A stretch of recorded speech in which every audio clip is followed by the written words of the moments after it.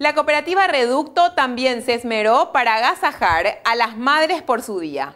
El festejo realizado en el Centro Cultural de la entidad congregó a una gran cantidad de socias que se divirtieron con buena música y representaciones artísticas.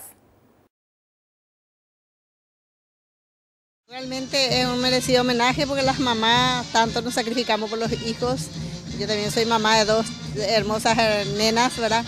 y estoy homenajeando, en este caso estamos homenajeando a las madres de Reducto, no solamente a las socias, sino a la comunidad de Reducto, a todas las madres que quisieron venir a participar con nosotros.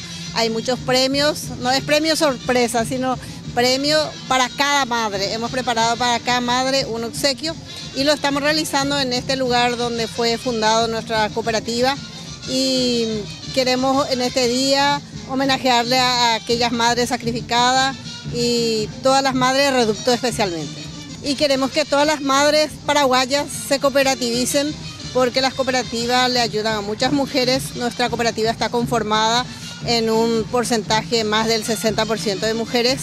Entonces, y yo tengo la estadística, en la mayoría de las cooperativas las mujeres son las más pagadoras que existen.